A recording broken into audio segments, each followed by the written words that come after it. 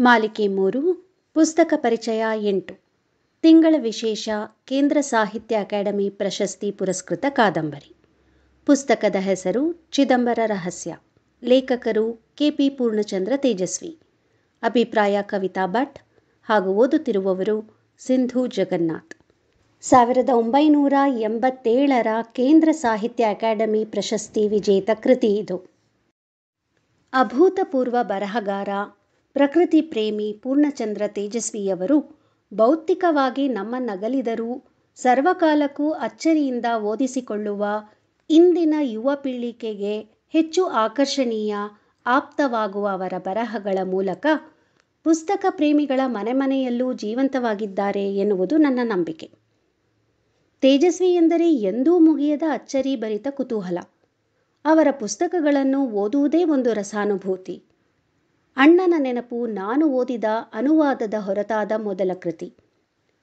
ಕುವೆಂಪು ಅವರ ನೆನಪುಗಳೊಂದಿಗೆ ಅವರಿಗಿಂತಲೂ ಭಿನ್ನವಾದದ್ದೊಂದು ವ್ಯಕ್ತಿತ್ವವನ್ನು ಹೇಗೆ ಕಟ್ಟಿಕೊಂಡರು ಎನ್ನುವುದಕ್ಕೆ ಸಾಕ್ಷಿಯಾಗುವ ಅವರ ಬಾಲ್ಯದ ಯೌವನದ ತರಳೆಗಳನ್ನೊಳಗೊಂಡ ಸುಂದರ ಕೃತಿ. ಇನ್ನು ಕರ್ವಾಲು, ಜುಗಾರಿ ಕ್ರಾಸ್, ಕಿರುಗೂರಿನ ಗಯ್ಯಾಳಿಗಳು ಅಬಚೂರಿನ ಪೋಸ್ಟ್ ಆಫೀಸ್ ಒಂದೊಂದು ಹಿಡಿದಿಡುವ ಮತ್ತೆ ಮತ್ತೆ ಓದಬೇಕೆನಿಸುವ ಕೃತಿಗಳು. ಇವರ ಪಾಕಕ್ರಾಂತಿ ಕಥೆಯನ್ನು ಮತ್ತೆ ಮತ್ತೆ ಓದಿ ನಕ್ಕು ಹಗುರವಾಗಬೇಕೆನಿಸುತ್ತದೆ. ಅಂತಹ ಅವರ ಹಾಸ್ಯಪ್ರಜ್ಞೆಗೆ ಅವರೇ ಸಾಟಿ. ಹೇಳಬೇಕಿರುವುದನ್ನು ಯಾವ ಬಿಗುಮಾನವೂ ಇಲ್ಲದೆ ನಿಷ್ಠುರವಾಗಿ ಹೇಳುವ ನಿರೂಪಣೆ ಚಂದ. ನಡು ನಡುವೆ ಅಶ್ಲೀಲ ಪದಗಳನ್ನು ಅದೆಷ್ಟು ಹಾಸ್ಯಮಯವಾಗಿ ಬಳಸಿಬಿಡುತ್ತಾರೆಂದರೆ ಓದುವಾಗ ಯಾವ ಮುಜುಗರವೂ ಉಳಿಯುವುದಿಲ್ಲ. ಅದನ್ನು ಹೇಳುವ ಅವರ ನಿರ್ಭೀಡತೆಯೂ ಮೆಚ್ಚುವಂಥದ್ದು. ಪರಿಸರ, ಪ್ರಕೃತಿ, ಕೀಟ, ಪ್ರಾಣಿ, ಪಕ್ಷಿಗಳು, ವಿಜ್ಞಾನದ ಬಗೆಗಿನ ವಿಷಯಗಳನ್ನು ಸರಳವಾಗಿ, ರಸವತ್ತಾಗಿ ಜನಸಾಮಾನ್ಯರಿಗೂ ತಲುಪುವಂತಹ ಅವರ ಕೃತಿಗಳು ಕನ್ನಡಿಗರಿಗೆ ಎಂದೆಂದಿಗೂ ಅನನ್ಯವೇ.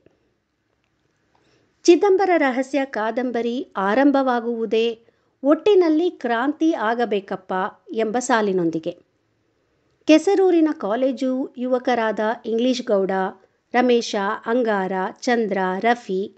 ಈ ಮಿತ್ರ ಮಹಾಶಯರೆಲ್ಲ ಯಾವ ಕಾರಣಕ್ಕೆ ಕ್ರಾಂತಿ ಮಾಡಬಯಸುತ್ತಿದ್ದಾರೆಂಬುದನ್ನು ತಿಳಿದರೆ ನಕ್ಕು ಸುಸ್ತಾಗುತ್ತೀರಿ.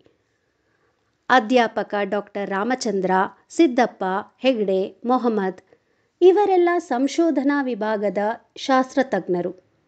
ಪಾಟೀಲರು ಸಂಶೋಧನಾ ಕೇಂದ್ರ ಮುಖ್ಯಸ್ಥರು. ಇವರೆಲ್ಲರ ನಡುವೆ ಏಲಕ್ಕಿ ಬೋರ್ಡಿನ ಇಂಟೆಲಿಜೆನ್ಸ್ ಎಂದು ಬರುವ ಆಗಂತುಕ ಅಂಗಾಡಿ ಕ್ಷೀಣಿಸುತ್ತಿರುವ ಏಲಕ್ಕಿ ಬೆಲೆಯ ಬಗ್ಗೆ ವರದಿ ತಯಾರಿಸಲು ಬಂದು ಯಾವೆಲ್ಲ ವಿಷಯಗಳನ್ನು ಕೆದಕುತ್ತಾ ಹೋಗುತ್ತಾರೆ. ಕ್ವಿಂಟಾಲ್ಗಟ್ಟಲೆ ಬೆಳೆ ಕೊಡಬಹುದಾದ ಕೆಸರೂರು ಬ್ರಿಗೇಡನ್ನು ಸಂಶೋಧಿಸ ಹೊರಟ ಜೋಗಿಹಾಳರ ಕೊಲೆ ಎಲ್ಲ ಸಮಸ್ಯೆಗಳಿಗೂ ತಗಳುಕು ಹಾಕಿಕೊಳ್ಳುತ್ತದೆ. ಕಾಡು ನಾಶ ಮಾಡುತ್ತಿರುವ ಸುಲೆಮಾನ್ ಬ್ಯಾರಿ ಮತ್ತವನ ತಂಡ. ಜೋಗಿಹಾಳರ ಕೊಲೆಯ ನಂತರ ಅವರ ಸಂಶೋಧನೆಯನ್ನು ಕೈಗೆತ್ತಿಕೊಂಡ ಪಾಟೀಲರಿಗೆ ಬರುವ ಕೊಲೆಯ ಬೆದರಿಕೆ. ಟನ್ಗಟ್ಲೆ ಬೆಳೆ ಬೆಳೆಯುವ ಏಲಕ್ಕಿ ಪ್ರಭೇದ, ಸಾಗರೋಪಾದಿಯಾಗಿ ಬೆಳೆದ ಲಾಂಟನಿನ ಬಳ್ಳಿಯೊಳಗೆ ಭದ್ರವಾಗಿರುತ್ತದೆ.